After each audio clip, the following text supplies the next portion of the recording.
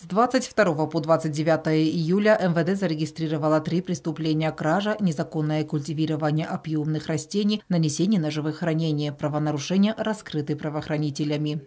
В дежурную часть УВД Цхимвала 28 июля поступило сообщение о том, что в приемное отделение РММЦ был доставлен неизвестный мужчина с колото-резанными ранениями. На место происшествия выехала следственно-оперативная группа МВД, которая установила личность пострадавшего. Им оказался 68-летний житель столицы. В ходе проведенных оперативно-розыскных мероприятий сотрудниками УВД столицы была задержана подозреваемая в совершении преступления 40 43-летняя жительница Схинвала, которая созналась в содеянном. С места происшествия был изъят складной нож. Женщина помещена в камеру временного содержания.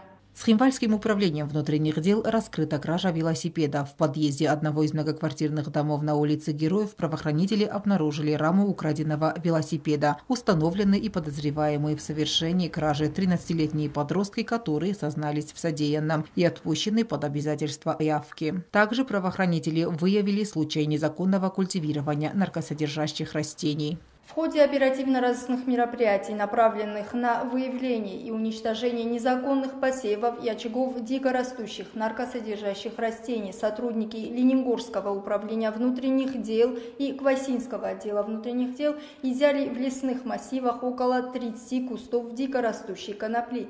За незаконное культивирование наркосодержащих растений сотрудники УКОН криминальной милиции и УВД Знаурского района привлекли к ответственности 33-летнего жителя Знаурского района, на приусадебном участке которого было обнаружено и изъято 9 кустов конопли.